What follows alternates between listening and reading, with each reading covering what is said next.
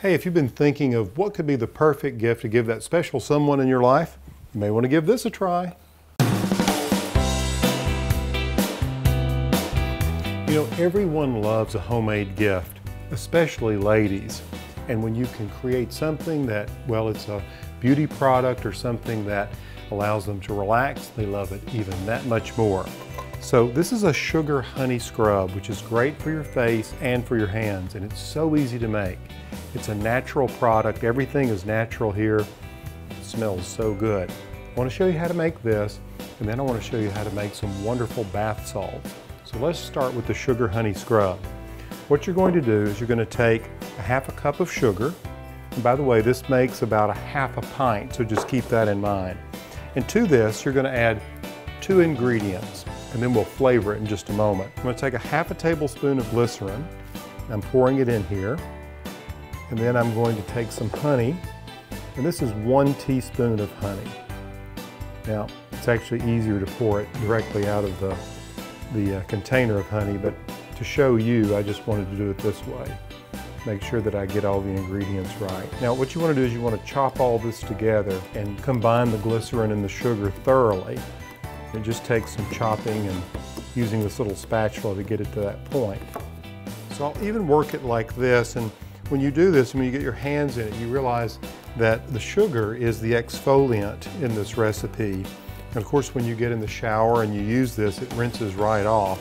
Uh, the honey is a preservative, so it helps to lengthen the shelf life of this face scrub, and also the honey is good for your face, as is the glycerin.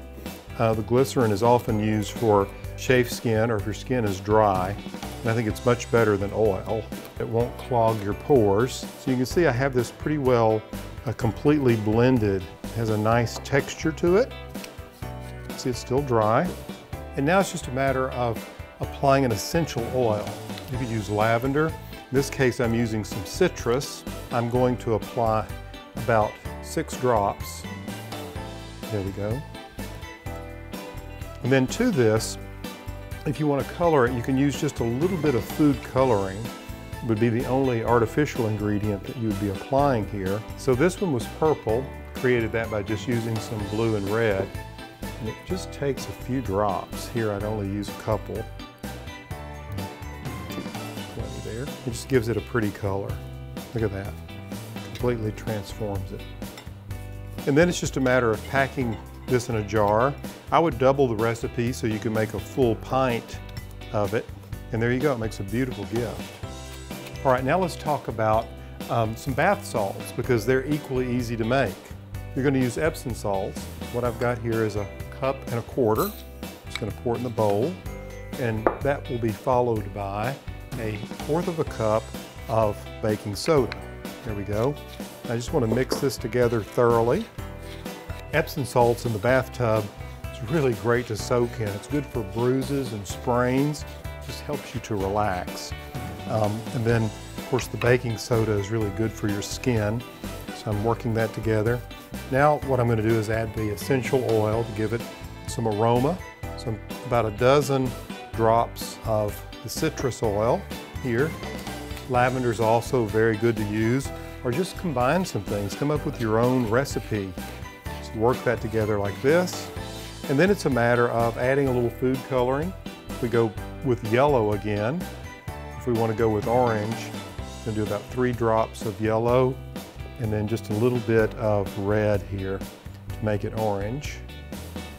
Doesn't take much in the way of food coloring. And work this together like that and you can see the color coming through. So you get it all worked together like this. Look at that gorgeous color It's a nice sort of salmon orange. Beautiful, it smells so good. You can see um, how it comes together and how it presents itself in a jar.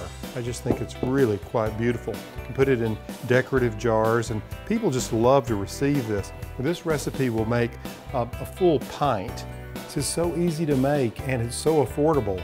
You know, a jar of this you could probably make for less than $3. If you go to a fancy bath shop, just imagine what you'd pay for this. Hey, if you're enjoying these segments, tell a friend about them. Give them a try. Post your comments. I'd love to hear what you think after you've created these. And make sure you subscribe to eHow Home. All right, let's make some more.